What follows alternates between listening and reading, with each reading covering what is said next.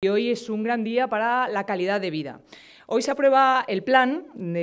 para el control del tabaquismo que lleva llevaba sin actualizarse 14 años y que, insisto, que vuelve a poner a nuestro país en la vanguardia del mundo de la lucha contra el tabaco, que es eh, la principal causa de mortalidad evitable, como decía, que es la causa del 30% de los cánceres, de los tumores de nuestro país y que es el causante también de más de 16 tipos de cánceres.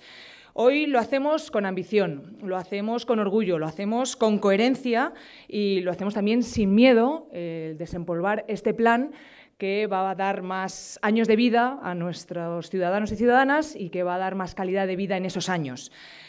Son otros los que tendrán que explicar por qué no se quieren adherir a este plan, son otros los que tendrán que explicar por qué le dan la espalda a la evidencia científica, por qué le dan la espalda a la salud, por qué le dan la espalda a sus propios técnicos y ellos tendrán que explicar por qué eh, no están a favor de un consenso que creo es un consenso social bastante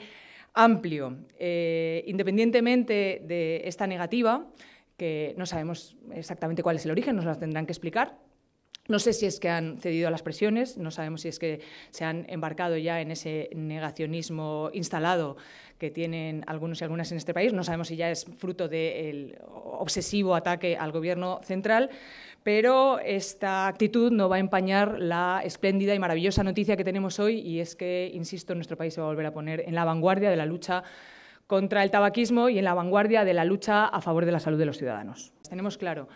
que es un plan que tiene que ampliar los espacios libres de humo. Tenemos claro que es un plan que quiere que menos gente eh, se sume a la adicción tabáquica. Tenemos claro que también es un plan que quiere que la gente que quiere dejar de fumar pueda dejar de fumar. Y también tenemos claro que es un plan que es muy ambicioso en lo que a la gente que no fuma y que está respirando ese humo de segunda mano